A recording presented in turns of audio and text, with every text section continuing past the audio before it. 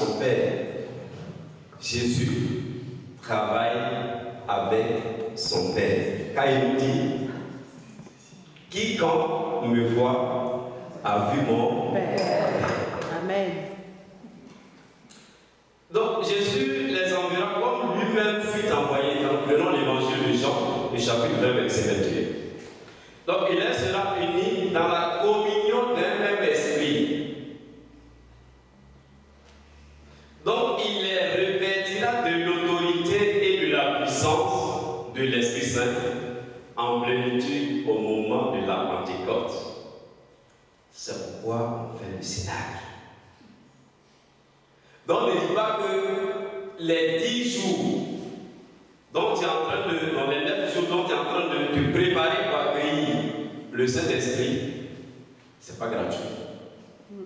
Il va donner l'Esprit en plénitude. La plénitude de la gloire de Dieu, c'est ce que Dieu donne de plus. Donc c'est comme une marque. Moi, il dit souvent aux gens, quand on prend un cachet et qu'on met ce cachet sur un dossier d'entreprise, et les marques que ça a été signé par le directeur de la société. Si tu veux former, à moins que tu mettes des dos pour déchirer la partie. Sinon, l'encre est là. Quand Dieu dépose la marque de l'Esprit sur la vie d'une personne, visiblement on ne voit pas, mais spirituellement, vous avez le cachet de Dieu. Ce qu'on appelle un saut de l'Esprit. Pas le sceau qu'on utilise à la maison, mais un sceau à Un sceau comme une marque. C'est dans euh, l'évangile de selon l'apôtre Paul, je ne sais pas quel passage juste, mais c'est une marque. Quand on marque quelqu'un d'une puissance, cette puissance demeure. On a vu Caïn et Abel, quand il a tué son frère. Et il a fallu que Dieu lui donne un. Pourquoi on sache que, en passant, telle personne ne doit pas être tuée parce qu'il a la parole de Dieu. Vrai Dis à ton voisin, ce soir, Dieu va te donner le cachet de l'Esprit Saint. C'est un cachet qui donne la délivrance. Un cachet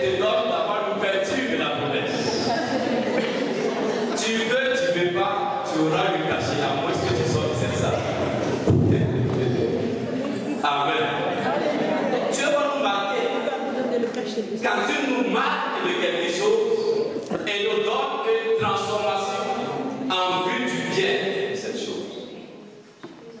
Donc on sera marqué, on sera cacheté, mais on aura comme caché ce qu'on appelle l'onction du Saint-Esprit.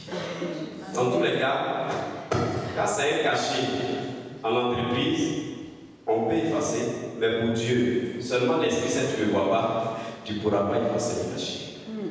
Mais c'est un cachet de bénédiction, un cachet de gloire, un cachet de libération, un cachet de délivrance. Tu peux, tu peux dire Amen. Donc, Jésus a été revêtu lui-même comme son Père. Alors les apôtres proclameront la parole et ils accompliront les œuvres du Christ. Ils guériront les malades et chasseront les esprits impurs. Autrement dit, le Christ agira avec eux et par eux pour le salut du monde. Amen. Pourquoi je le dis? Parce que quand on regarde le ministère du Christ, seulement en passant, l'Esprit parlait disait Que nous veux-tu, Jésus de Nazareth Ça, c'est une question de démon. Que nous veux-tu, Jésus de Nazareth? Mais en même temps, on peut se poser la question si c'est Jésus qui devrait nous interroger, il allait nous appeler mon ami, mon frère. Et désormais, vous n'êtes pas mes ennemis, vous êtes mes amis. Mais d'où vient-il que quelqu'un demande à Jésus Que me veux-tu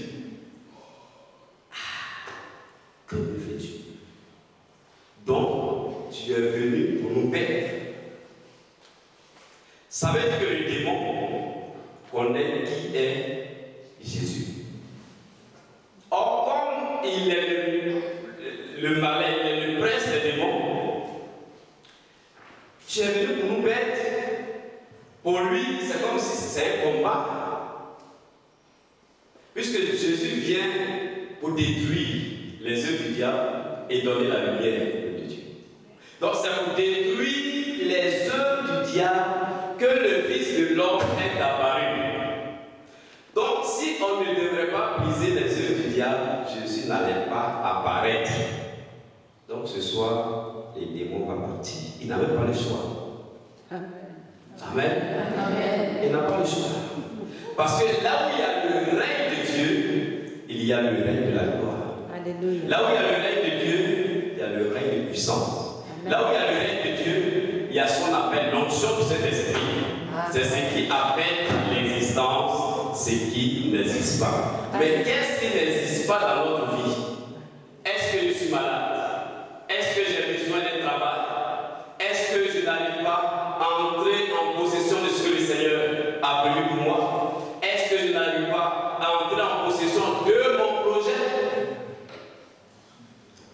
Quand j'étais à Toulouse pour un enseignement. Et le thème c'était Le Seigneur connaît tes projets. Et ceux qui étaient là pensaient que moi j'allais venir devant eux et leur dicter leur projet en vue de la réalisation. Je ne suis pas venu dicter vos projets. Le Seigneur connaît ton projet.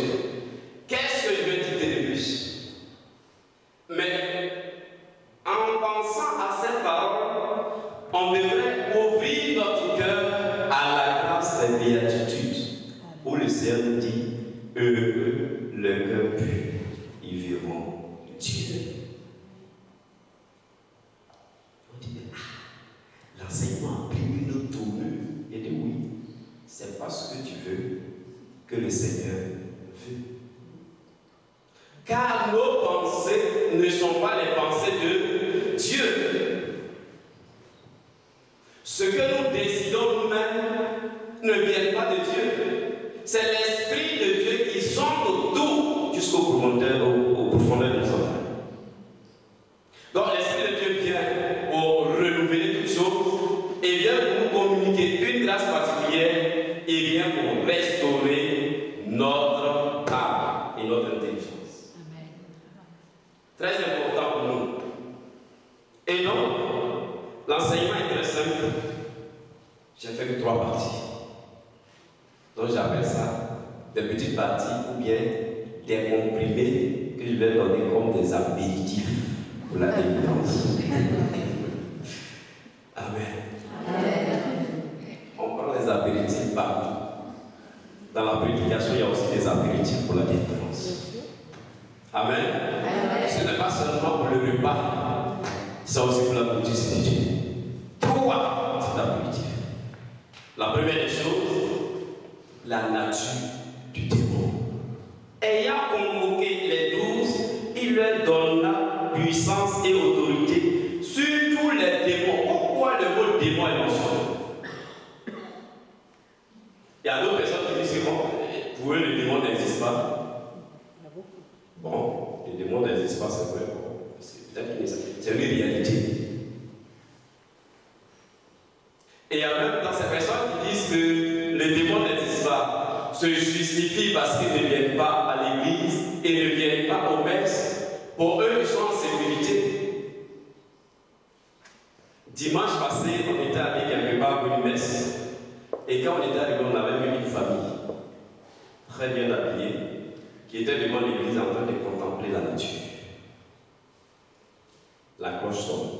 Pendant qu'on était dans la procession, on leur dit, mais la messe va bientôt commencer. Est-ce que vous pouvez venir pour la messe Et ils disent non.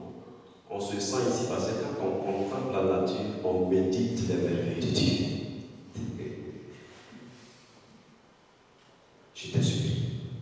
Et dit oui, c'est pas faux. C'est vrai que la nature fait du bien. Quand on contemple la nature, on voit ce Dieu créateur, on voit ce Dieu qui renouvelle, on voit ce Dieu qui, qui, qui nous donne d'entrer dans une nouvelle dimension de notre vie. On voit ce Dieu qui donne de changer toutes choses. Mais si tu es sûr que c'est ce Dieu que tu es en train d'adorer, voici sa maison. Je leur ai dit. Si tu refuses d'entrer dans la maison de ton Père, tu es en train de contempler autre chose. Souvent, ce n'est pas toujours bon de parler de façon crue à certaines personnes, mais il le faut. Parce que la parole de Dieu, elle est tranchante, elle pénètre l'âme. Elle transperce notre cœur afin de nous donner la révélation. Donc, si vous voulez vraiment contempler, voir la gloire de Dieu, le maître est là, il vous attend. Alléluia. Et on a commencé la procession. Amen. C'est ça. Sinon, quand tu les laisses, c'est comme si tu leur donnes pas la révélation, mais la connaissance de ce qu'ils doivent faire. Il faut leur communiquer ce qu'ils doivent faire. Il faut leur dire ce qu'il faut. Il faut leur montrer le chemin de Dieu pour que oui, ce Dieu-là leur permet d'entrer dans la plénitude de son amour. Donc, qu'est-ce qu'on appelle démons Ce sont des anges déçus. Donc, ce sont des êtres créés par Dieu d'abord, soumis à une épreuve pour mériter la vie divine. Ça, ça doit être clair. Ils ont été créés par Dieu et soumis par une épreuve pour mériter la vie divine.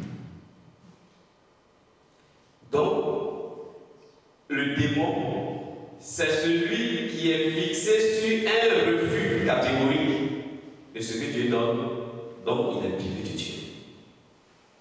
Quand quelqu'un est privé de Dieu et il fait le choix d'un autre camp, donc il y a le monde des ténèbres, il y a le monde de la lumière. Donc soit tu es, tu choisis le Christ pour le monde de la lumière, soit tu choisis le démon pour les œuvres du diable. À vous de choisir. Mais dans tous les cas, si vous avez choisi l'autre côté, vous ne seriez pas suffisamment à écouter la parole de. Amen. Es d'accord, tu peux acclamer Jésus-Christ de Nazareth.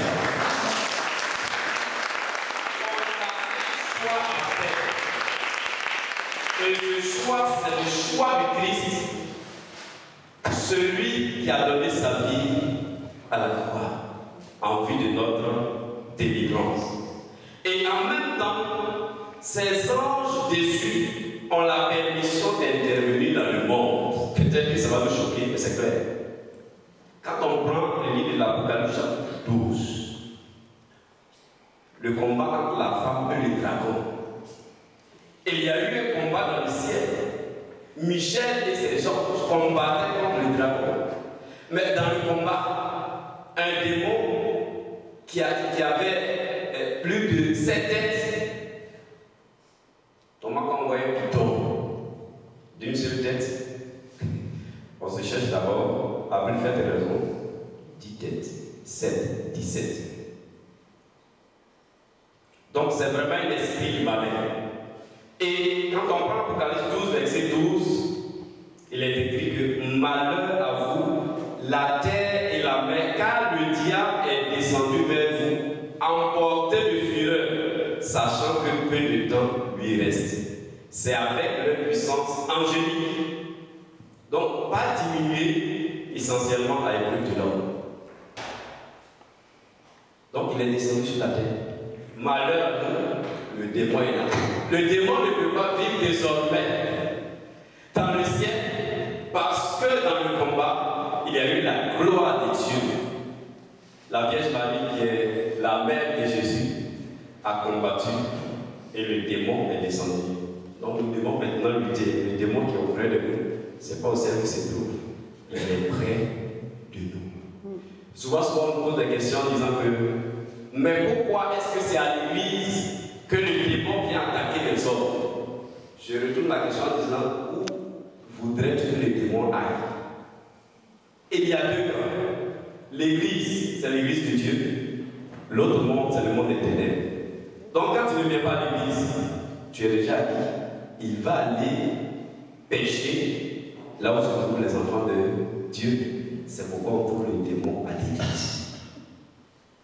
Dit, c'est pas aussi simple que ça pour une définition du démon.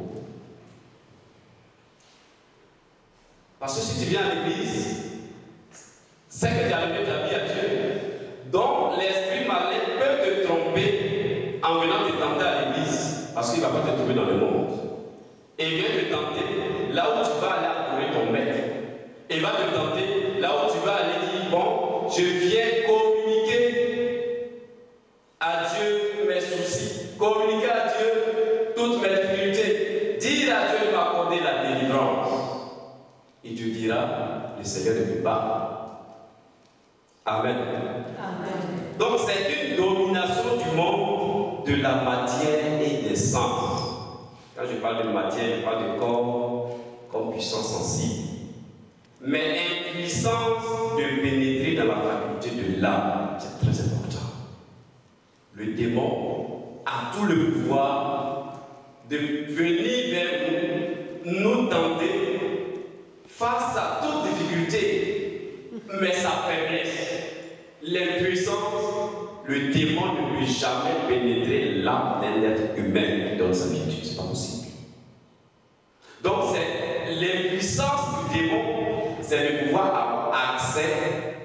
notre âme. Notre âme appartient à Dieu. Peut-être que d'autres n'ont jamais entendu parler de sorcellerie ou bien d'autres esprits qui peuvent nuire la vie de l'homme. Quand on parle de la sorcellerie, c'est vrai. N'ayez pas peur de ceux qui peuvent tuer le corps, mais qui ne peuvent pas tuer l'âme.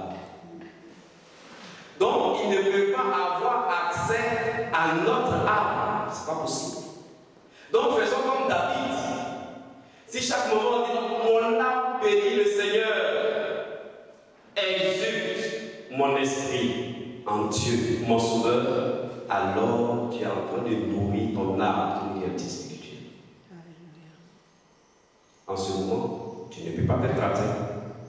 Donc il faut donc la fermeture au monde spirituel par la foi.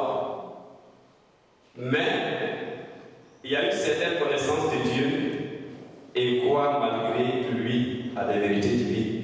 Donc par la foi, on peut fermer toutes les portes du démon.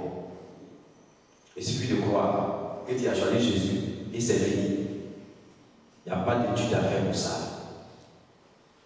Tu crois que Christ est mort, ressuscité pour toi, alors tu peux avoir la libération du fermement des ténèbres sur ta vie. Voilà. Mais ça n'empêche pas que tu aies des preuves. Souvent on dit que bon, j'ai donné ma vie à Dieu, mais d'où vient-il que je souffre? D'où vient-il que tel projet a été bloqué? Mais bon, le démon ne s'arrête pas. Quand quelqu'un te poursuit, si la personne qui est le démon est en train de te poursuivre, lui n'est pas encore fatigué, toi tu veux t'arrêter, il va t'arrêter.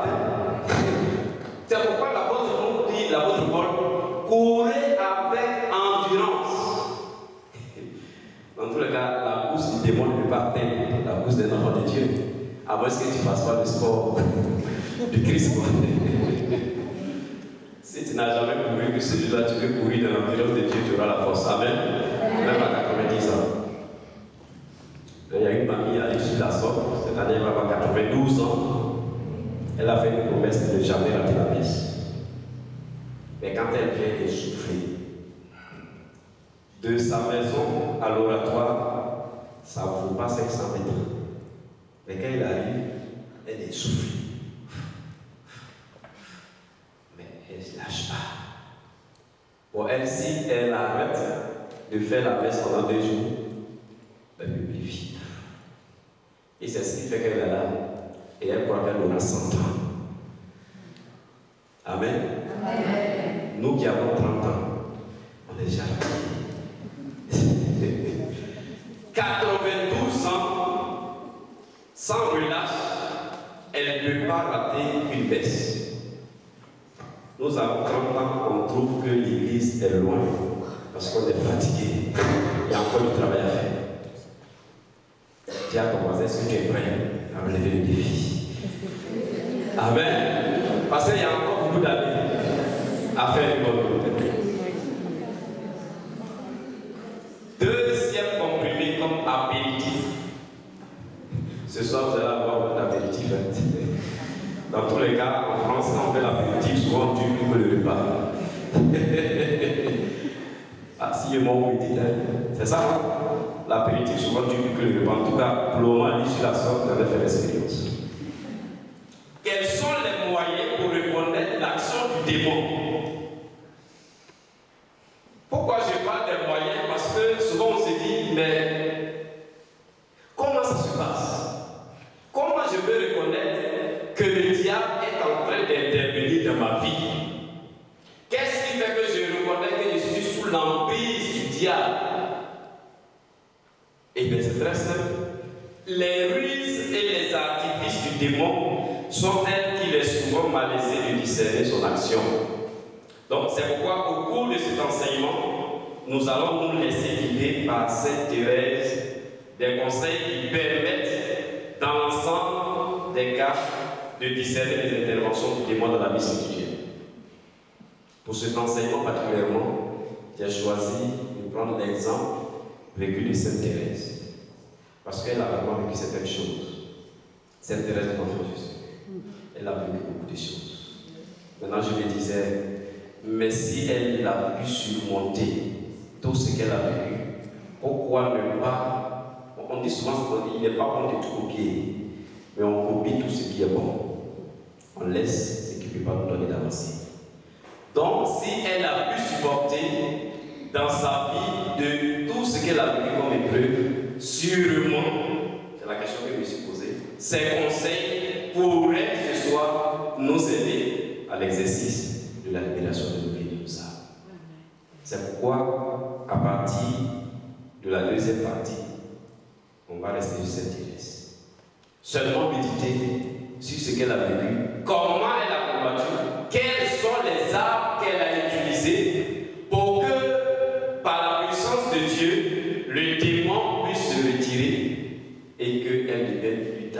une sainte canonisée. Amen. Premier élément, c'est le doute. Assure cette Thérèse, il faut se défier et attendre. Qu'il s'agisse de personnes malades ou saines, il faut toujours se défier de ces choses jusqu'à ce que l'on comprenne quel en est l'esprit. Aussi, je dis que dans les débuts, le mieux, c'est de les combattre. Donc, cette Thérèse nous invite à combattre. Donc, ne baissons pas les bras.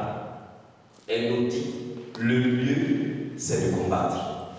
Donc, si tu n'as pas encore commencé ton combat, à partir de ce soir, commence à faire ton exercice de combat. Amen.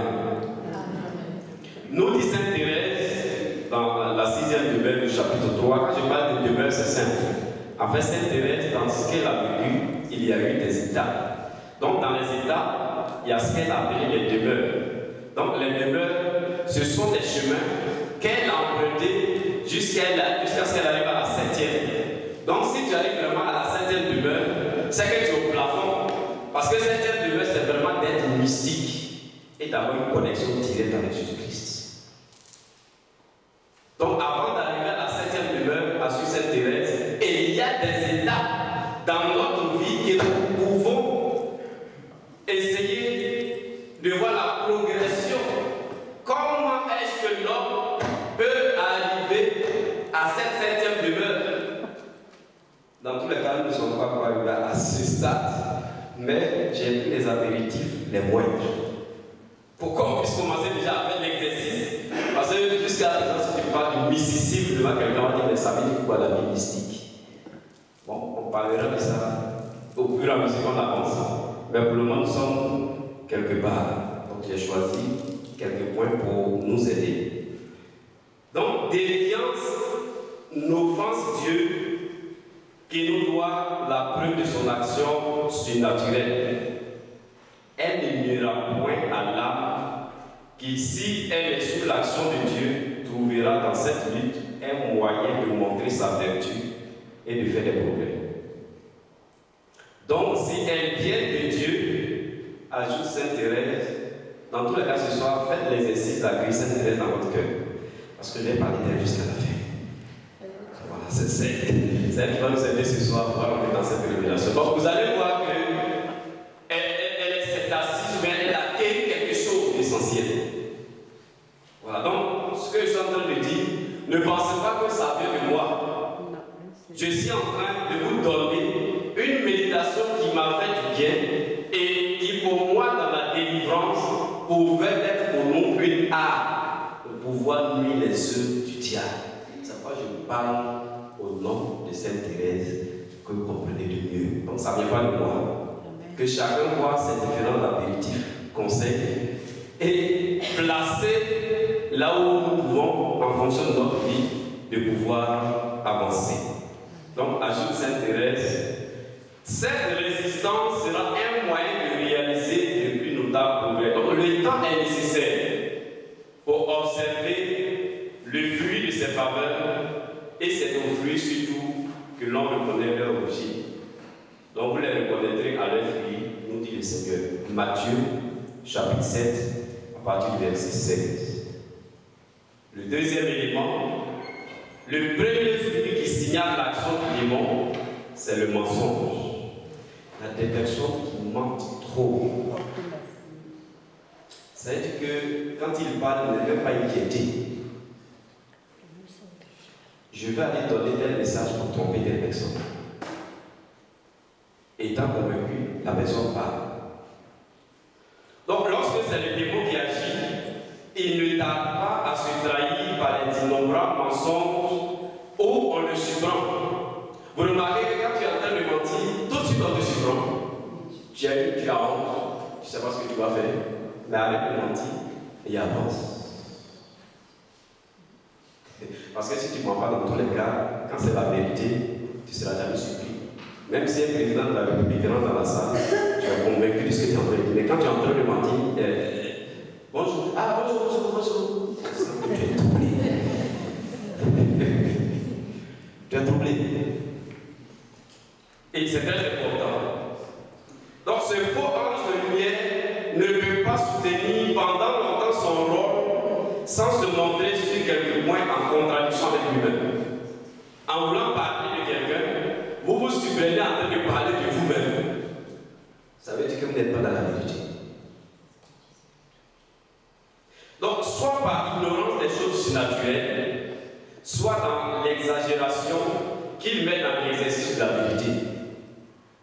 Donc, soit par des mensonges particuliers que ce père mensonge éprouve le besoin d'ajouter à sa supercherie encore discipline. Troisième élément, les interventions directes du démon ne sauraient produire dans l'âme les effets de paix et d'humilité. Donc, quand c'est le démon qui agit, c'est sûr, tu ne peux pas avoir la paix, tu ne peux pas être humble. Si tu es en colère, tu resteras toujours ta colère. En ce moment, sache que tu es piloté ou bien guidé par un autre esprit. Jésus nous a dit Apprenez de moi que je suis doux et humble de cœur. Matthieu 11, 29. Cette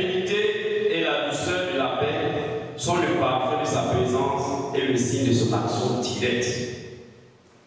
Seule l'expérience peut donner un sens à ces mots de lumière, de paix, de trouble ou d'inquiétude. Donc employé par Sainte Thérèse, aussi un vrai don de discernement des esprits, dont lié à cette expérience est habituellement nécessaire pour discerner l'action du démon. Donc non pas seulement dans les phénomènes extraordinaires, mais dans les manifestations ordinaires où elle se dissimule sous les causes naturelles et s'unit à elle d'une façon subtile pour produire des effets particuliers qui lui cherchent. Donc les saints furent terribles aux démons parce que dès l'abord, leur sens spirituel discernait sa présence et son action.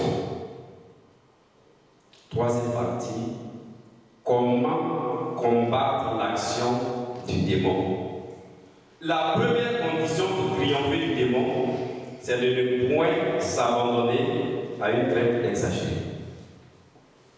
Parce que quand on veut lutter, on a peur. Comme c'est il y a certaines prières. Est-ce que c'est sûr que quand je fais cette prière, je serai libre? Est-ce que quand je faire cette prière, je ne vais pas peur? Alors, on a peur de prononcer. Donc, il ne faut pas avoir peur de façon exagérée. Ce qui vient dans ton esprit et dans ton cœur, il faut seulement le professer. Donc, il est un adversaire redoutable par sa puissance dans le domaine sensible et par son habileté. Mais nous ne devons pas oublier cette déficience, son ignorance du monde naturel, son impuissance à pénétrer dans les facultés de notre âme, sa qualité en fait de retrouver qui ne lui permet que des victoires temporaires. C'est pourquoi, lorsque c'est le démon, tu peux échouer, mais c'est peut-être un échec partiel. Amen. Amen. Tu peux échouer deux jours, mais quand la gloire de Dieu descend, tu es béni pour l'éternité. C'est ça qui est très important. Donc, la seconde chose, c'est la prudence. Cette prudence, lorsqu'elle devra combattre le démon, utilisera les armes surnaturelles qui assurent notre supériorité, à savoir les sacramentaux, dont plus spécialement l'eau bénite, ainsi que la prière et le jeûne. L'eau bénite, la prière et le jeûne.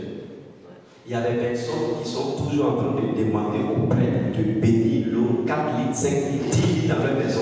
Ils, ils n'utilisent jamais l'eau bénite pour verser juste dans la maison pour une délivrance. Demande à ton voisin, qu'est-ce que tu fais de l'eau bénite que tu demandes?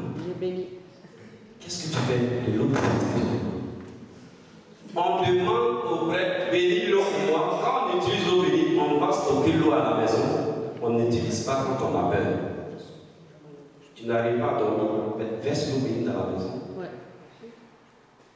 On dort, le bidon de l'eau bénite est là et notre esprit prend. Très important. Donc, l'eau bénite est importante pour nous, pour la libération ou la délivrance, même des guérisons.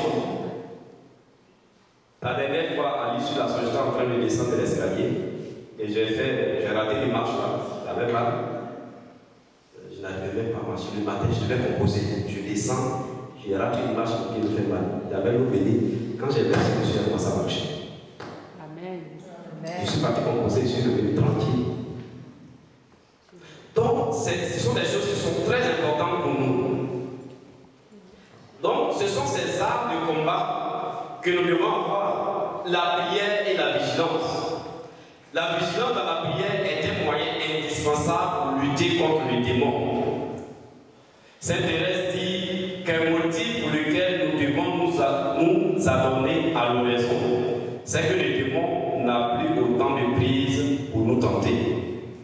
Si les démons remarquent que nous ne sommes, nous nous tenons plus sur nos gardes, ils peuvent nous porter un grave préjudice. Donc dès qu'ils voient qu'une arme est chancelante et qu'elle n'est ni constante dans le bien, ni fermement résolue d'y persévérer, ils ne lui laissent de repos ni de jour ni de la nuit. Donc cela suppose qu'on a besoin de la persévérance. Donc l'Église, pour marquer l'importance de la lutte contre les puissances ineffables, a approuvé des prières spéciales pour l'évocation de certains saints qui ont une puissance particulière sur les démons et spécialement recommandée. Donc avec le jeûne aussi, c'est très important parce que la Bible déclare qu'il y a certains démons qu'on ne peut chasser que par le jeûne et la prière. Parce que les disciples sont allés prier pour une action, ils n'ont pas pu expulser les démons durant toute la nuit. Ils ont prié toute la nuit jusqu'à matin. Ils demandent à Jésus, mais pourquoi nous n'avons pas pu chasser les démons? Il dit, mais cet esprit ne peut être chassé que par le jeûne et la prière. Ça, c'est très important pour nous. En ce qui concerne l'eau bénite, l'Église a institué ces sacramentaux, donc rite ou objet auquel une bénédiction particulière confère une vertu spéciale de préservation contre l'influence du démon. Donc parmi ces sacramentaux, c'est l'eau bénite que je vous propose ce soir d'utiliser de façon constante, car Sainte Thérèse nous disait, j'ai vu bien des fois par une propre expérience, écrit-elle, il n'y a rien de plus efficace que l'eau bénite pour repousser les démons et les empêcher de revenir. Donc la croix aussi les met en fuite. La vertu de l'eau bénite doit être bien grande. Voilà. Donc c'est important pour nous. Elle doit être bien grande. Et là, je termine en 5 minutes. Ah oui, j'ai 3 minutes. Donc, très important pour nous, quelle est la tactique? Pour pouvoir combattre, il faut avoir une technique. Donc, la tactique pour pouvoir faire la première des choses, c'est l'exercice de la foi. Donc, comment faire cet exercice? Dans l'Épître aux Romains, l'apôtre Paul, pour le combat spirituel, indique spécialement la foi comme arme défensive contre l'esprit malin. Il nous dit Revêtez-vous de l'armure de Dieu pour pouvoir résister aux embûches du diable. Peut-être que c'est cet esprit qui appelle. Car nous n'avons pas à lutter contre la chair et le sang. Mais nous avons à lutter les principautés et les démons de ce monde éternel. Très important. Donc c'est pourquoi prenez l'armure divine pour pouvoir résister aux jours mauvais et rester debout en rapportant une complète victoire. La victoire des enfants de Dieu. Debout, les reins saints, la vérité revêtue de la grâce et de la justice, les pieds chaussés du zèle de l'évangile du Père, tenant en outre le bouclier de la foi contre lequel viendront s'éteindre les traits enflammés de l'ennemi. Éphésiens chapitre 6, verset 11 à 16. Donc la foi